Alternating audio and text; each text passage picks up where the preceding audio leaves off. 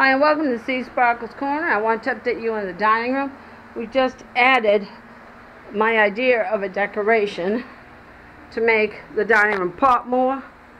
I've this is uh, two two inches and I took and painted them brown and just to make it to add a little bit more decoration to make the dining room pop more so this is an update on the next phase and what I've decided as I got inspired to do more in the dining room. So there it is. Thanks for watching. Feel free to share. Feel free to subscribe. And as always, this is what it looked like before. And you see, this is what it was looking like now as we're getting it done.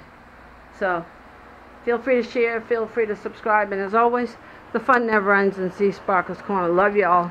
You mean everything to us. Thanks for watching. Bye, everybody.